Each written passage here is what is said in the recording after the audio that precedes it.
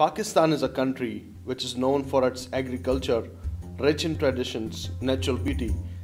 It's the place of struggle and a place where people are seeking desperately for truth and hope. In midst of all this, Rise Up in Grace Ministries and Grace Network is reaching to the most darkened, persecuted regions, cities, and cores of this nation where the need of the gospel is high.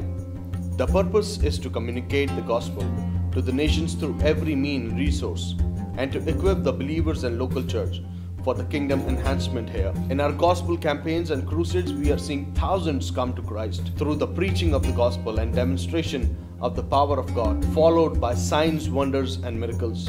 Seminars and discipleship programs are bringing great fruit as many are empowered to win others for the kingdom. Mission schools are planted by the ministry in remote tribes and villages, which have opened the doors for us to bring the light of education and love of Jesus Christ to them who have spent generations in slavery of rich landlords.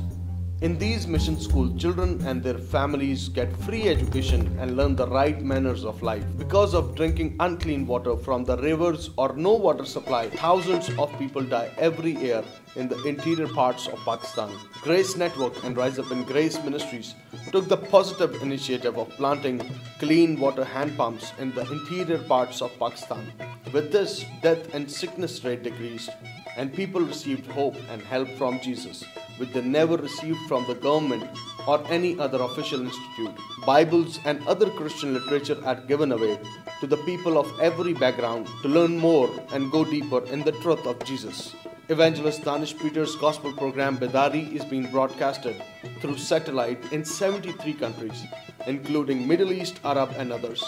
Every day we receive calls from different parts of the world where people are blessed and impacted through our TV program. Ministry is completely dependent on the donations and support of brothers and sisters like you, and all the finances are dedicated to the gospel and the kingdom of God.